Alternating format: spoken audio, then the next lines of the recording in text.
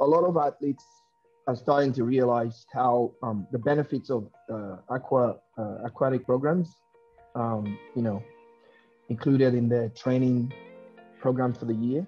Like um, swimming is actually an awesome sport.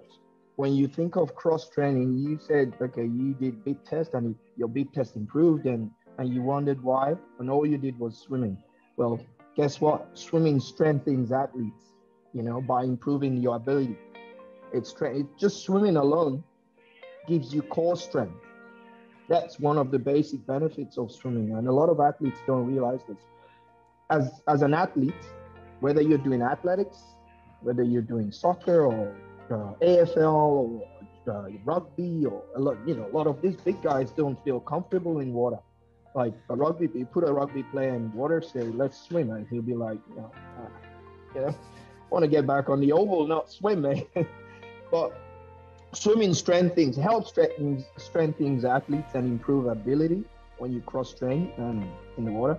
And that's big. It's been proven that swimming is uh, a major sport to help improve core strength.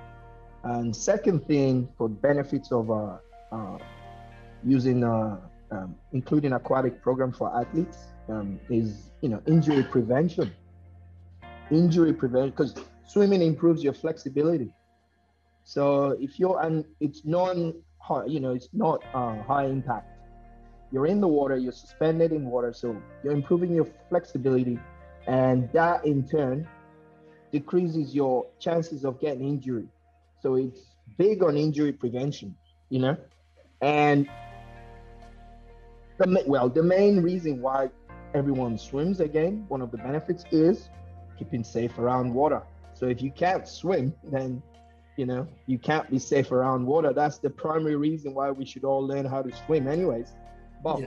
when we're talking about um, professional athletes and helping your program as a as a as an AFL player or as a rugby player or as a soccer player, helps injury prevention, helps strengthen your core, which is um, big for swimming, your cardiovascular health and your lung capacity development. This helps a lot because when you swim a lot and you know that your lungs are developing in a way that you can't even realize.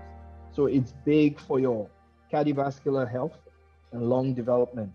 And um, another one I can think of um, is um, improving your endurance you know for a lot of athletes who are say long distance runners and stuff.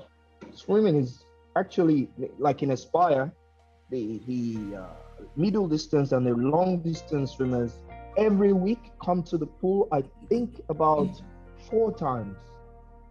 Sometimes they have a whole session in the pool or sometimes they just do like part of their session if i remember. Um, and if you check uh, Aspire Kids right now, the junior and the senior, I think they, they we've had a lot of uh, world records in juniors because you know these are kids still when they're in Aspire, they're high school kids. So a lot of them are just competing junior, but once they leave Aspire, then they go into uh, big time competitions. Um, so it's um, it helps improve endurance. That's another benefit I can think of for swimming um, so it's very important for like say distance runners to to uh, swim